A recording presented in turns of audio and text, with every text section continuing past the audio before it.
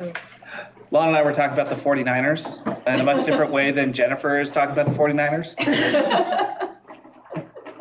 It's not stirred up by.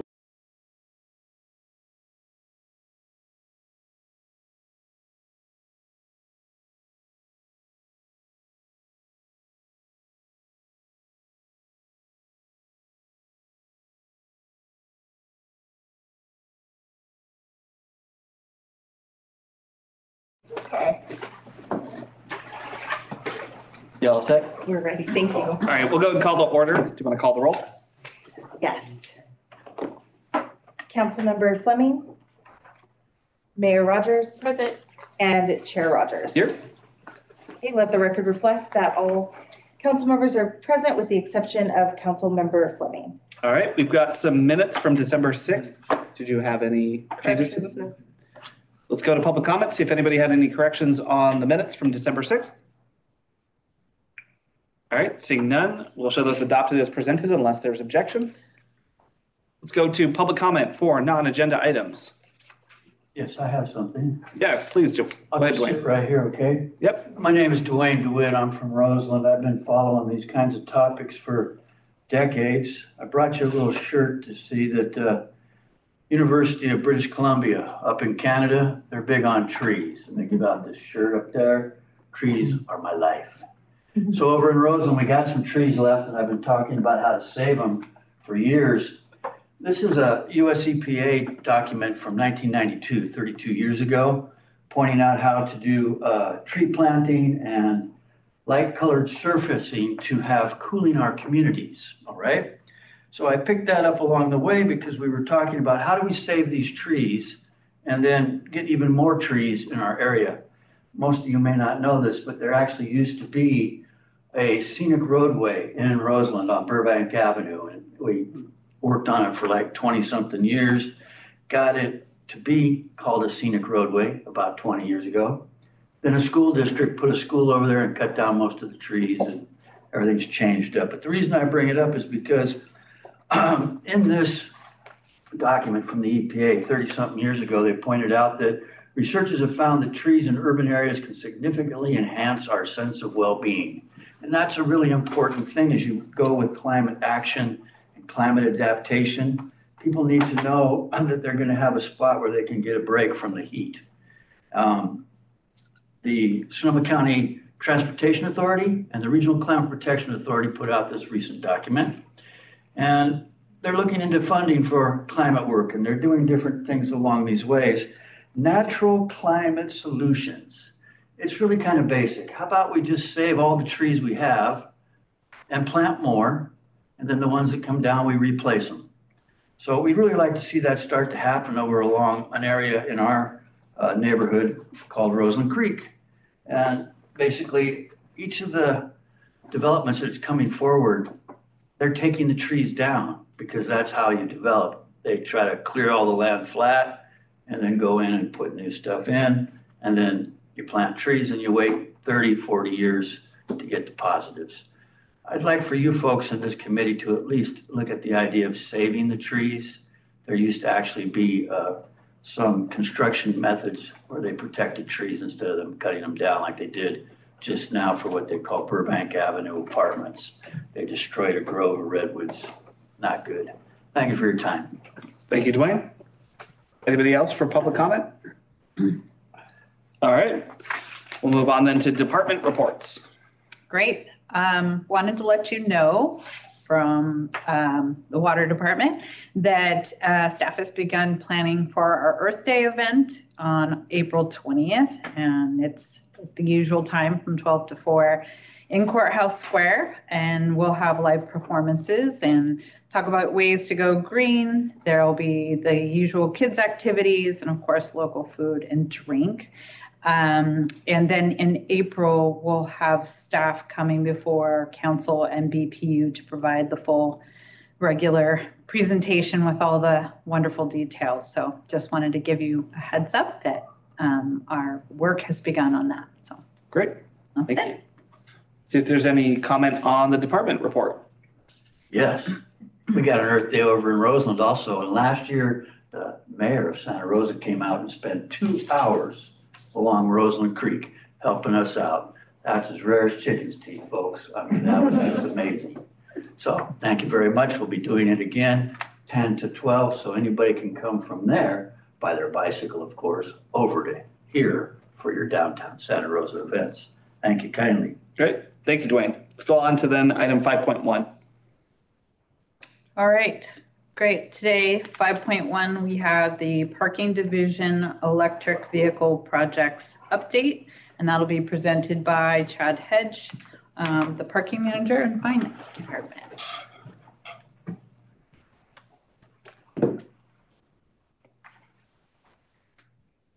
Somewhere. Unless you can find it quicker. Is this it?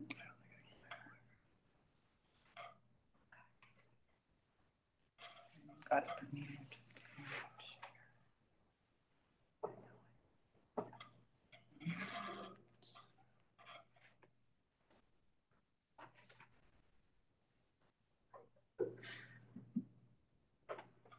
Okay, maybe we will need your help. I'm Not seeing it now. They should have watched you, Claire.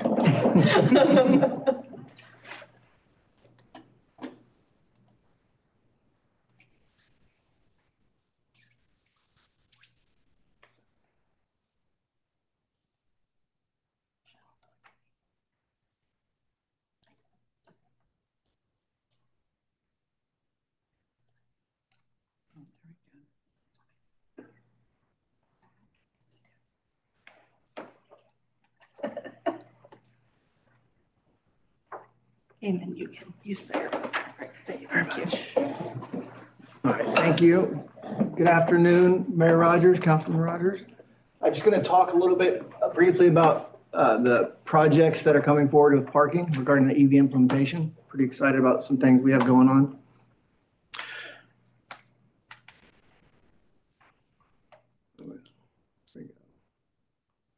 So we've got two, two major projects going right now. Lot 10, which is the lot right behind Russian River Brewery. Um, We've got a, a project that's been approved through PG&E, been approved through the city attorney's office.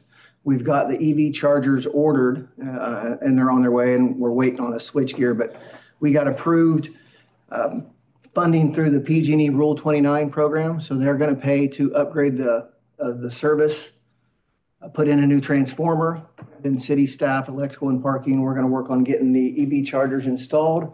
So we're hoping by maybe midsummer, we're going to be able to have 12 or six dual port level two EV chargers in that lot available for public use. Um, So that, that- that's going to be a really, really good thing. We originally had a project plan for Lot 10 that we were going to completely redo the lot. Um, But with uh, funding and, and, and other concerns, and we would end up losing some spaces, and then the original plans didn't include any kind of EV infrastructure we've kind of pivoted to where we worked with PG&E and now we're going to redo the lot, make it prettier, but also have uh, 12 EV chargers. So that'll be a good one.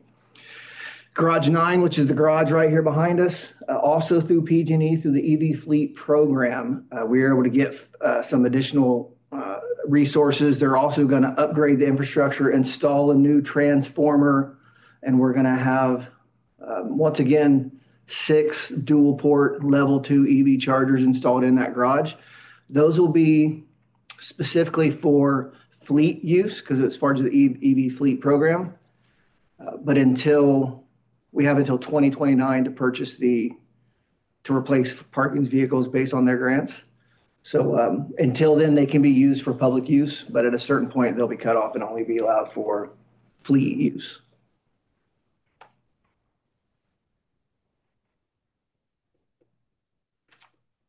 Uh, we, like I mentioned, we've been working on this since 2019, where we allocated the funds to redo the entire lot.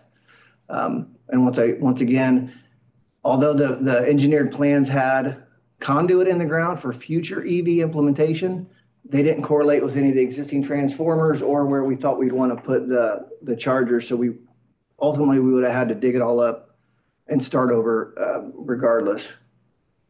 And then the garage nine one, uh, once again, we've had this project, uh, jail created for this project. So we do improvements on the garage as often as possible. Uh, But we were able to find the funds through PG&E to go ahead and help us push through with this EV fleet program, which is for us huge. We, parking, we only have 13 total vehicles. So for us, being so small, it's going to be really easy to get our infrastructure in place for our, our vehicles, unlike other departments who have way more than, than 13 vehicles. And since I spoke, started this, it actually was been approved. Uh, the garage 12 one is not, so garage 12 is the, the Roxy Theater Garage. Uh, I've, I sent over an agreement with, with Tesla. Um, it's, and it's, it's in approval in a, being a, evaluated right now. So Tesla, because they don't have any large, their words, any large supercharger stations in the city of Santa Rosa, they would 100% fund the entire project to pay for any kind of uh, PG&E upgrades. They'll do all the application. They'll install all of the chargers. Um, We won't have to do anything but, but uh, um, do city permitting to get to that point. Uh, So we're kind of seeing if that works. If that works, then we can go from having, right now, parking has nine chargers between Courthouse Square. Uh, But we can end up with uh, 102 EV E public use chargers uh, funded with very little money, ready, ready to go. So uh, I'm keeping up on that one to see how that comes out. With everything that's going on, even if it comes back, PG, or uh, Tesla and PG&E, I'm on their timetable now. So I got to wait till they say they have the time, then they'll schedule these projects. But uh, big point, we, we've always tried to do uh, parking as we're talking about these things is we understand the big push is always to reduce the, the, the VMTs, the vehicle miles traveled, right? We understand the GHG reduction strategy. We understand the cities, the county and the state are, are, are focusing really hard on uh, the climate action plans and, and developments are coming in with uh, uh, no parking requirements because we want to try to get more people out on the ground. But we also want to try to get more availability for EV chargers before this whole, um, before we get too far down the road. So these are some of the things that we, we're going to benefit by going this direction that kind of tie into the MTC funded study that we're doing. Um, And that will, you know, better utilize it. I don't know if I talked about that. We finally got the grant funding from, from MC, MTC this week. I, I just found out about this. And so we were notified that a group called Sam Schwartz Consulting Engineers is going to start in two weeks with this, this major, uh, study and evaluation. We didn't know when the money was going to come because last time I, I spoke with MTC, they thought it, I wouldn't get it started until late summer. So this is exciting for us. But this study is going to incorporate everything. And I've been talking with TP and Debbie. They got a study coming on to add more bike lanes and, and things like that. So we're going to try to do it together, but we need to utilize what we have a little bit better, especially with all the changes coming in. Uh, downtown, whether we're talking about garages, lots, or street parking, we need to use them better uh, and adjust to the new normal. Uh, reduce the GHGs and VMTs, ensure the implementation of, of the EV charger for public and fleet use. If I can get the Tesla thing going, I think we're going to be ahead of the curve and, and we'll be able to focus less on that because we'll be, we'll have more than enough. Um, facilities, uh, I think we can use our, our facilities a little bit better.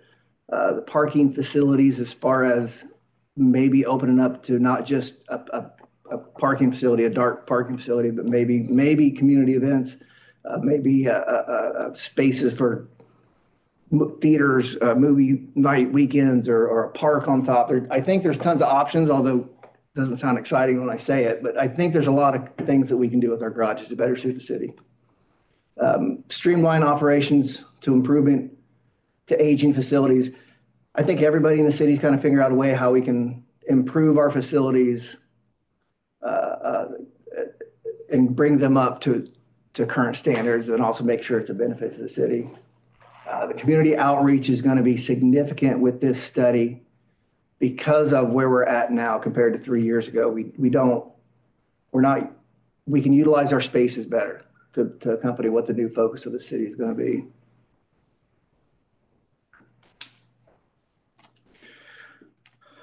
So just going forward and as part of this big MTC study we're doing with the multiple, multiple community engagement meetings and uh, stakeholders, city stakeholders, anybody who wants to be involved or needs to be involved.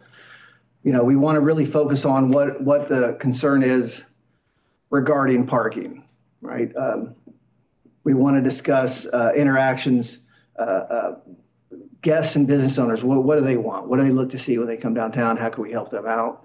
Um, What's the need? And depending on the Tesla thing for more EV chargers and infrastructure upgrades, just because we get some down here, it, doesn't touch Railroad Square. It doesn't touch anywhere outside of the downtown area, which is, which is outside of, of my purview. But um, how can it be incorporated to where this can be a destination to know that there's tons of EV chargers and we have maybe micro mobility stations set up, uh, more of the scooter and bike share set up, transit options set up, so we can get people down here that let them uh, travel around. Um, and then just how, how, uh, what options, when we talk to these community meetings, what, what's required to gain the support of the businesses, the stakeholders and things like that as far as parking's end, when we start having these bigger, bigger conversations about the study. And then I think you guys all have my contact information. And that's all I have on the EV implementation.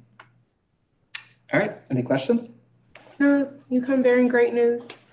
Good, Love it. Good. Um, also, when you were talking about the better uh, utilization of our Mhm. existing facilities, when we had the Mary Lou reveal Mhm. over in the um, city hall, the parking lot. Yeah. I was yeah. thinking when we had that, like, why don't we use our facilities Mhm. more for community events and things like that? So Yeah. I think that your department is definitely right on the money. I appreciate that. A lot, a lot of questions I gotta get figured out, but thank you. Uh, for lot ten, Mhm. you, uh, for the other lots, you kind of mentioned Tesla was going to be the operator Mm-hmm. for, for their charge stations. Who's the operator going to be for lot ten? The city, parking. It- So it will be the city. Yeah, we will own and operate the chargers in, in those two. Um, and the reason, uh, Te- so Tesla reached out to me, I You said guess. that was nine? There are going to be nine chargers there? In, in lot ten, there'll be six dual port chargers, same in, same in, uh, garage nine. Mhm. If we go through with Tesla, I can get up to hundred and twenty chargers. But, um, we're probably looking ninety to one twenty, or we, we can adjust that down. So will it be, will the charge stations themselves then be free for people to use? Or is the city going to come up with a, a mechanism for charging people for the electricity? The, my assumption, because we haven't got anything approved yet from Tesla, is that it'll be the setup the same as the charge points right now. Oh, no, sorry, I mean for lot ten. Oh, it'll be the same as the city. It'll be, it'll be paid by the, same as the ones in Courthouse Square. I think it's two dollars to start your charge and then ten, at first four hours, I think is free and then ten dollars per hour after those four hours. But I think the ones on Courthouse Square, I think are charge point, right? Correct, Yeah, Yeah. so is, so ChargePoint's gonna do lot ten? correct. Lot Okay, 10 and gotcha. Garage nine, Cool. yeah. Okay, have you talked with Sonoma Clean Power at all about this yet? Yeah, we've had a lot of conversations with, with, uh, with Brant, uh, you're right, talked to them a lot about that. They're very excited about it. They've helped me apply for different communities in charge grants Mhm. that could help offset the costs. Great. So They've been a, a great, a great resource. Cool. And then, uh, have you had discussions with the businesses that are served by lot ten about any potential disruptions or what that timeline might look like? I have, so, um, uh, Rush, the owner of the Russian River, we've had a lot of conversations that she brought all the business owners in, including the, uh, the, the business, uh, uh, manager or the facility manager, back when we started talking about the construction. Yeah. So they're, they're pleased because originally we were gonna have to shut down the entire lot to do this Right. project, whereas now there'll be very little impact and they'll get chargers out of this. So they're extremely excited. They're glad it's not going this way. The one thing that they asked is make sure I, I, I look out for Pliny the Elder and do not disrupt that. I respect that. Yeah, Yeah. me too. Yeah. Cool. All right, let's see if there's any questions from the public. I'm okay. All right. All right, thanks so much. I'm really looking forward to it. I think, uh, I think if we can get to the point where we can boast that we have hundred electric vehicle chargers downtown, um, you know, I, so my wife and I, we drive an electric vehicle and, uh, there are specific spots that it does lead to economic development when we're on our way to Sacramento and have to stop in Vacaville for a few minutes Yeah. and stop off in the businesses that are there. So I think being able to market downtown as an EV friendly place is a great thing for us. I agree. Thank you very much. All right, let's go to item five point two. Um, item five point two, FEMA flood risk mapping project. So from a very good item to a probably perhaps a little bit more depressing item. Or opportunity. More opportunity. The city to adapt to climate change. So we've got Claire Myers, our Stormwater and Creeks Manager uh, from Santa Rosa Water, and Jesse Oswald, Chief Building Official, Planning They're on and one. Economic Development Department. No, no, one at a We time. believe in you, Jesse. Yeah. Oh, that's why. But the, because each car has a different type of plug. We're here it has the two different types. Got it. Yeah, You can tell I don't have a Tesla. yeah. Well, Tesla's a third different type. It's its own port, yeah. So then will other people besides Tesla be able to charge on the hundred and two charging stations or just Tesla? Not on the Tesla chargers. So we're just gonna have majority of people that can charge or just So a lot of the EV companies have just reached an agreement with Tesla, so that their new cars that are coming in will also be able to accept accept Tesla ports. But, yeah. Sorry, we're so excited about the EV charging stations. yeah, Um, Well, good afternoon. Uh, Mayor Rogers, Chair Rogers, very excited to be here. Um, Thank you for having us to speak about a topic that has great relevance for climate, climate, no, climate resilience and adaptation in Santa Rosa. Um, We're here today to discuss FEMA's flood risk mapping project for the Santa Rosa Creek watershed. Um, The Federal Emergency Management Agency, or FEMA, is responsible for mapping our country's flood risk um, and for helping communities develop strategies for um, improving resiliency. So FEMA has identified Santa Rosa Creek watershed um, for a map update. So I'm here with Jesse Oswald today, our floodplain administrator. Um, and today we'll just provide you an overview of the project, um, what it is, project benefits and impacts. Um, we'll go over FEMA's project timeline um, and also how Santa Rosa Water, Planning and Economic Development, and Communications and Intergovernmental Relations are working together um, to ensure a really comprehensive public outreach. So we'll start by explaining the foundation of the project. What is flood risk mapping? Um, and simply put, it's FEMA's maps that show areas that have a high likelihood of flooding. Um, more specifically, FEMA is using modeling data to identify flood hazard areas that have a 1% chance of flooding, uh, also known as a 100 year flood. Um, and basically, the mapping creates a series of statistical lines that identify flood risk on a parcel by parcel basis uh, within a watershed. So, for this study, um, FEMA is developing the maps for the Santa Rosa Creek watershed. As we've said, uh, you can see the boundaries of this watershed on the map that we've provided here or within that purple line. Um, the analysis includes Santa Rosa Creek and all its key tributaries, um, which encompass most of the city, which is the gray outline, um, and then as well as some unincorporated areas in Sonoma County. So why is this important? Um, because in order for property owners and also for the city to make decisions on how to best mitigate risk, we really need to know what that risk is. Um, mapping areas for high flood risk can help property owners make decisions about things like land use, um, purchasing appropriate insurance to mitigate losses in a flood event, uh, and helping the city identify capital improvement projects um, for us to better protect our community. And then why now? Um, because flood risks change over time and new and better data become available. Um, when new flood risks and data are identified, FEMA will start the process of updating their flood maps. Um, there's no set timeline for revising flood maps, um, and they typically occur when more accurate engineering information becomes available, either through a FEMA-funded restudy or when a community makes new information available to FEMA. Thank you. So um, when it gets more into the details of when, when this mapping starts happening and, and at, at the current point, we're definitely preliminary, but eventually we're gonna have this well-defined area of these, these one percent or greater chance of, of flooding. Um, So when we, we have that happen, they're identified and FEMA has very specific criteria on how they're identified and then what happens afterwards. Um, So depending on um, where these properties are and what someone might do with a property. So we're talking post-map adoption with some of this information here. It becomes much more stringent to develop in a uh, identified flood hazard area. And insurance rates uh, do, do increase. Uh, Fortunately, you both voted on an ordinance less than two years ago that updated our local floodplain administrative ordinance that puts us in very good standing with FEMA. There's a FEMA-sponsored insurance rate program. In fact, the maps are called flood insurance rate maps. Um, So the city is in, in a good position to leverage assistance through FEMA for folks that are gonna need this insurance. So the insurance possibilities and development um, requirements will significantly change in those areas.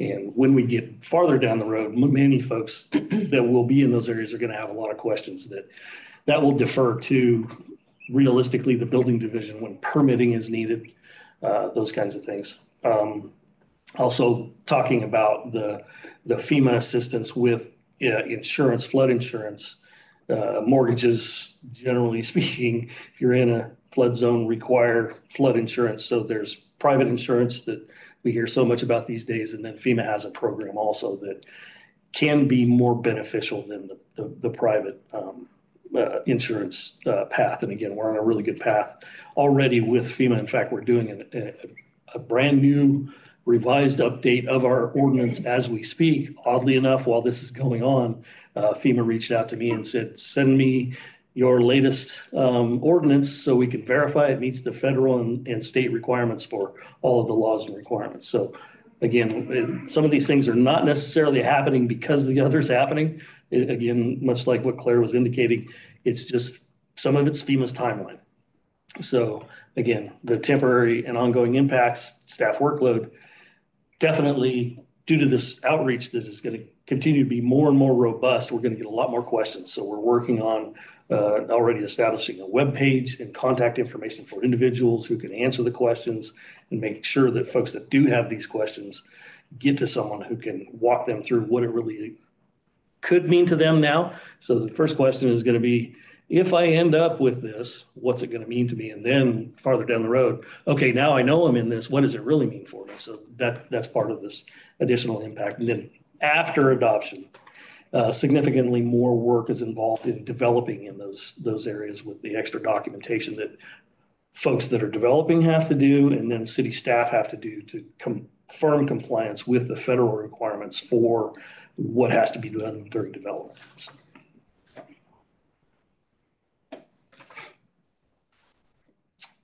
Uh, Yeah, again, along what I was saying, um, because we're getting this out in front, folks that may be contemplating doing additional work to a property they own or even looking at a property to purchase, this will help them make those decisions with as much information as we can give them, uh, at least an idea upfront on, on what it, it will mean to them.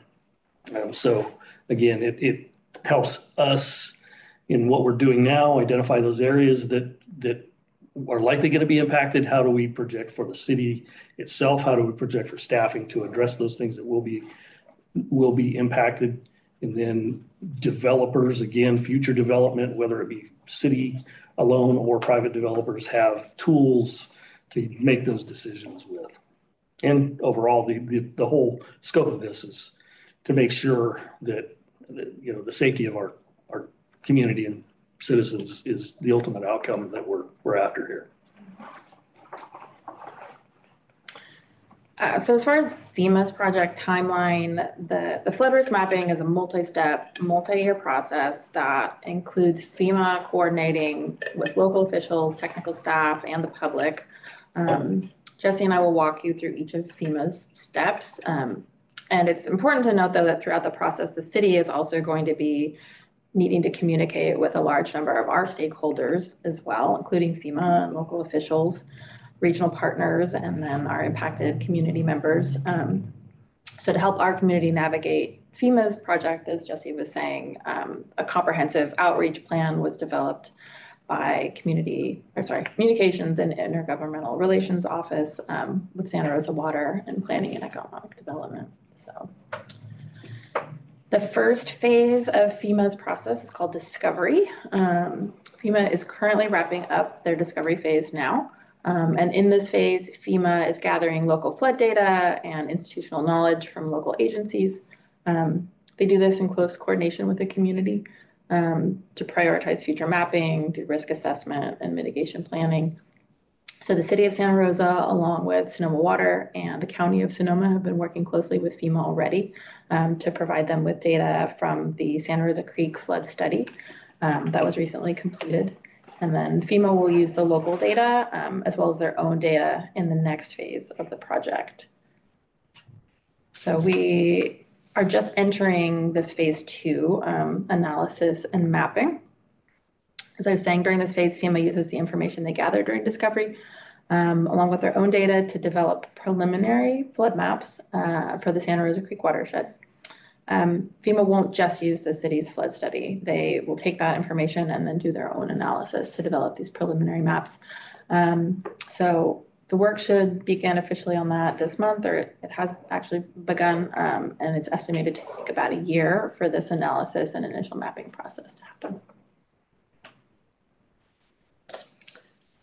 So the preliminaries get released, so that really more refines the, the boundaries of what we're gonna be, be discussing. And then, um, with FEMA's engagement, the, we have more, which you can expect a pretty robust support from the city staff and all the stakeholders as well. Um, those maps get released, uh, they're public, publicly consumed. That gives the community an opportunity to review and then provide uh, comments, so to speak, much like we do in any of our adoption type processes. Uh, So that is the very specific 90-day period.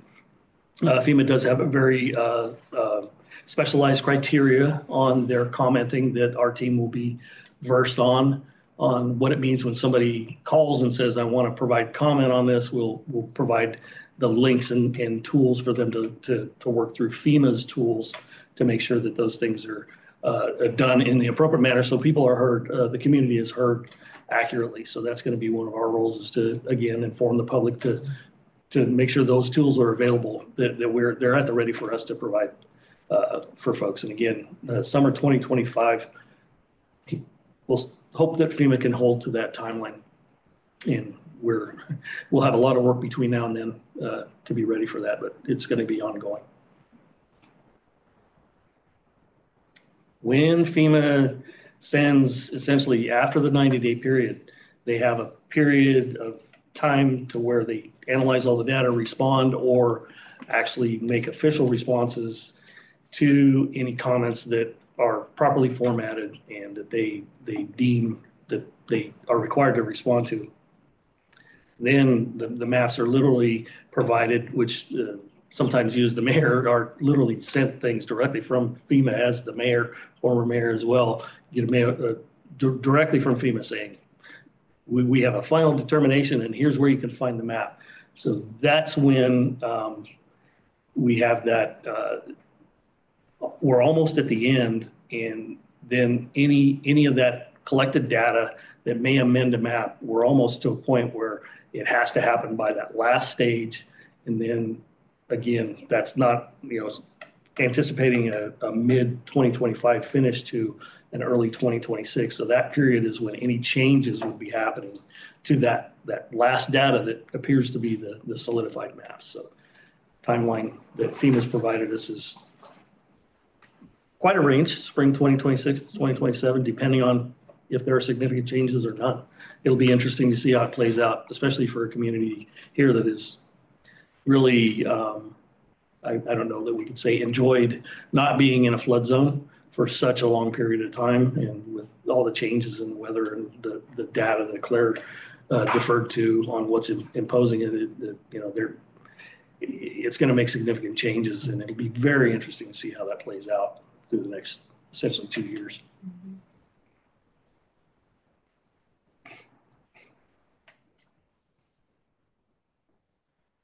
This is the, the pretty uh, early but pretty robust already uh, list of resources we have to uh, get folks engaged. Um, the information, sites, phone numbers. And this is a combination, of course, the, the lead agency FEMA, their direct contact information that folks can actually go and look up this project already to see what's happening since it's official. Um, and then the city of Santa Rosa establishing our, our site, then newsletters, people, folks, like many of our initiatives can sign up for it, uh, for regular updates, those kinds of things. And we continue to develop a list of FAQs. Uh, the team continues to communicate on what have you heard? What's your experience with these types of things? And what are you hearing? Um, and providing, uh, you know, hopefully as much uh, of a robust list as we can to, to have people help themselves, but also, again, the contact information for our team to have somebody to be able to reach out to. This is an easy one for me, questions. I have an awful lot of them. Fair? Um, so thank you very much for the presentation. Um, we have fire zones, we have flood zones, like people can be in boat, like it's just a lot going on in our beautiful city. My question is, is, um, if your house is determined to be in a, in a flood zone, will it decrease the value of your home or like are, are there, um, like one is very bad, three is okay. You know, like, cause I, we get emails that say, you know, I'm in a fire zone, I can't get insurance, I can't sell my house, Right. right? Because no one can buy, get a mortgage on a house if they can't um, get the insurance. So I'm wondering how this will go with um, the flood, even if we do have the, the FEMA Mhm. insurance. So I'll ask it, I'll, I'll answer from a theoretical perspective. It's not something that we have included in much of our research and preparation. But the realism of that is certainly there. We're- Mhm. We're experiencing it now with fire insurance. Um, We may consider, and the team can correct me, that we should have a good conversation with the Board of Realtors um, in our discussions in what this really means. I I think that would be a really great resource for us. They, they would be the pros to be able to answer that question for us, I believe. How we support our residents. Yeah, and I would add too, for some of these questions like that, FEMA so far has been a really great partner. Um, and has offered, their staff have offered to come to some of our public meetings and answer some of those, those questions that are a little bit outside the realm of our technical expertise, but where they know the answers and they know what other communities have experienced. And so we'll definitely be, um, inviting FEMA staff to be representing at, at the meetings. I don't, sorry, Flannery Banks, the stormwater engineer for Santa Rosa, uh, specifically to the insurance, uh, flood insurance is federally, uh, operated and handled, so we don't have the same concern that because they're identifying the flood risk, that they'll be rejected, or I know that insurance providers are, for fire are pulling out of California. That's not the same concern, because it's all, the main program for it's all administered and operated by the federal oh, government. Perfect. Thank you. You're That is the answer. Thank you. Bring the engineer, always bring the engineer. Where's Morgan? Yeah, no, I, I think that was a great question, and uh, the only other thing that I'll add is just thanking Congressman Thompson's office for their work, because I know that they've been very engaged with FEMA also throughout this whole process and will continue to be. Uh, and I know uh, Congressman Huffman doesn't represent Santa Rosa, but his, his team has been involved as well, so just want to thank them for that. Let's Go to the public, to see if there's any public comments. All right, I'll bring it back to say thank you, and I know we're going to get more updates as this moves forward uh, in the, the coming year, I suppose. So, All right.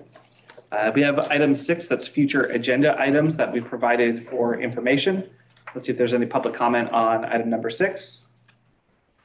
Seeing none, we'll adjourn the meeting. Thank you, everybody.